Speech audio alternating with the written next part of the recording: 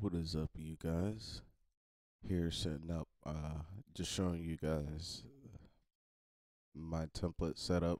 Um, after Kenny's new update to his vocal chain, um, you know, the famous Alex Tumay, uh, interpretation by Kenny Beats for Ableton. So, took a lot of inspiration, obviously. Mine's a little different, but not too much different. Explain why I have what I set up. What I set up. Not a pro or anything. I just know what sounds good given my circumstances. My setup makes a little bit more sense if you understand my room in terms of this template. It's basically an office space with the mic set up in a corner of the room with a reflection filter directly behind it. Basically, just got it nailed to the wall so it doesn't go anywhere or anything like that. I know the corner of the room isn't the best place for mic placement per se, but with the reflection filter behind it and the mic pattern I have set on that specific mic, it mitigates the issues of recording in a corner. So I record with an AKG P420. So it has a figure eight pattern, cardioid pattern. I'll put some diagrams up on the screen to basically explain. But yeah, with it recording direct, what's only directly in front of it and what's behind it, behind it you've got foam. In front of it you've got a vocalist and a little room noise, which is okay. Um, it's kind of the best it's gonna get. I don't know, maybe. Um, given the current circumstances, can always do more. Plan on doing more.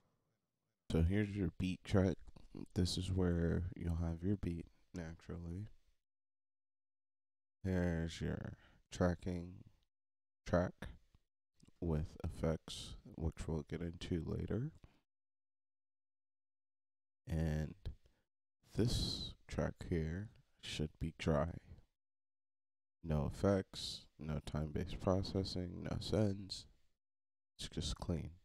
And the reason why you do that is so you get a recording that isn't bogged down by latency and doesn't pick up any latency from your plugins.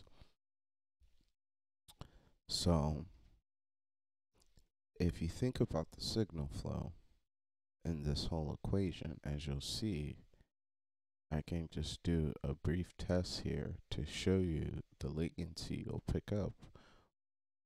So, this is a test to show you that, and I can already see it off bat just by visual, but as you can see,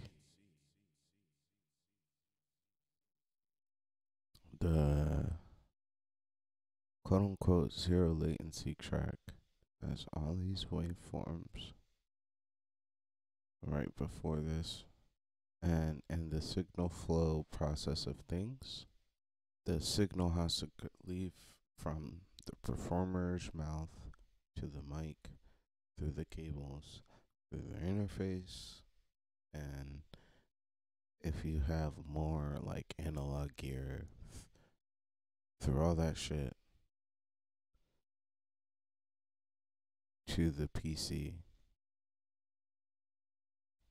through your processing in the PC back out through your interface into your audio output.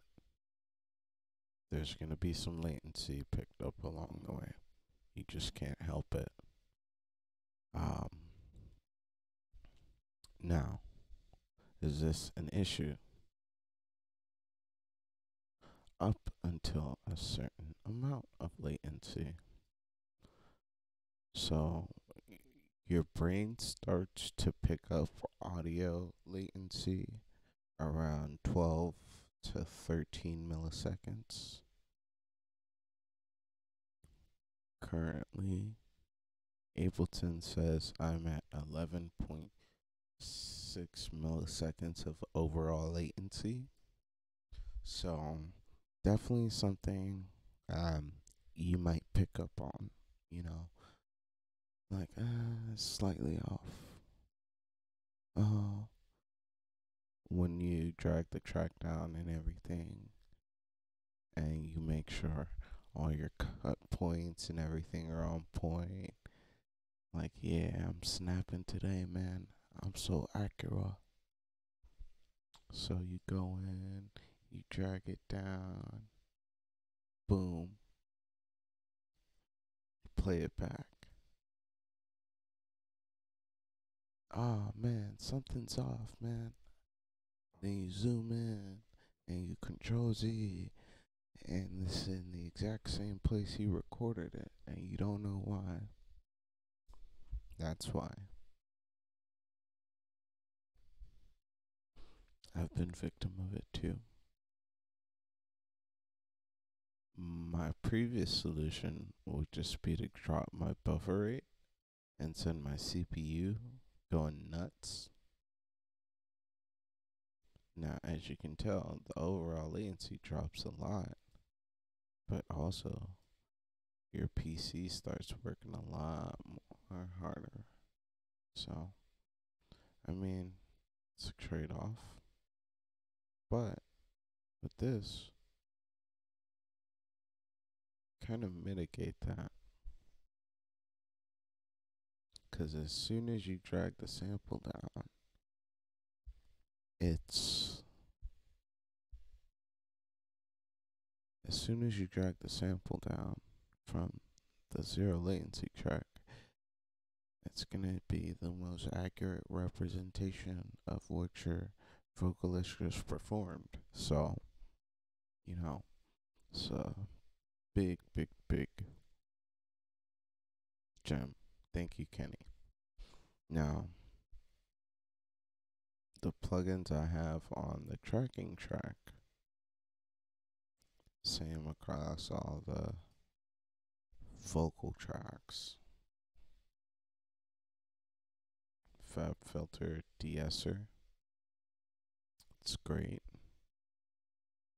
Uh, turn, turn monitoring on, and then you can see you know. So we'll just highlight that and show you. I don't know if it's okay. There it is, picking up all the sibilants. Now I've got direct monitoring turned on my audio interface, so I can hear it sort of when it sounds on the recording. But anyways, have Fab Filter, a gate for the room noise when I'm recording on the P420.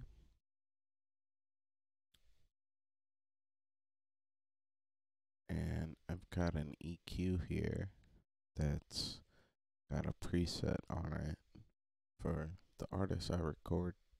So her dissonant tones are almost always going to be in the same range. So this is a great starting point for me. Up next, I've got the SSL E channel. And this has got the Kenny Tumay settings. Um, yeah. Put some tone color back in after we just knock some out. And then right after the E channel, going into the R comp. And these are the settings. 14 negative 14.7 threshold 2.96 ratio, 2.9 gain, and uh, a 5.3 attack, 160 release, and out of the compressor into an EQ Pultec emulation. A 7 boosts on the 5K band.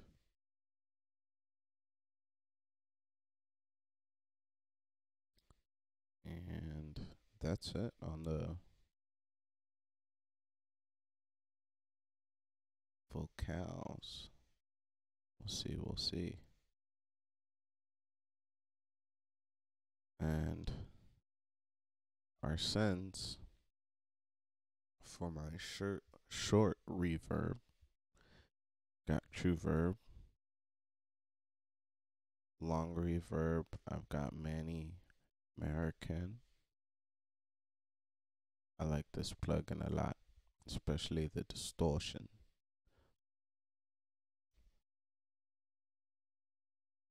And for my long reverb valhalla. Valhalla is always nice on vocals too. Um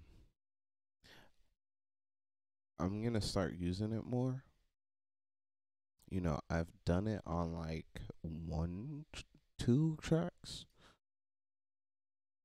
but um start using it more because hey man it's a free world and same delay throughout.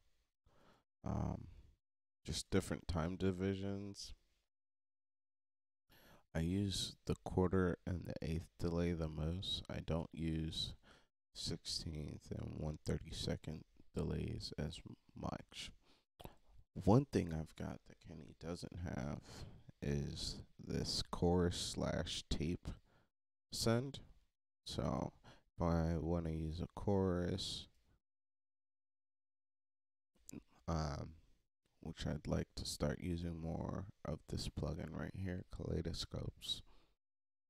Um, yeah, see what that's about. And Kramer tape emulation.